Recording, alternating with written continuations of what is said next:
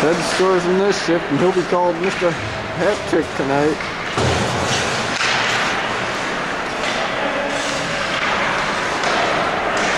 Unless he wants to get an assist and get into a fight, he can get a Gordie Howe hat trick.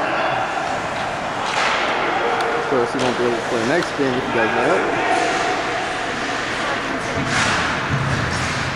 What? Talking to the camera.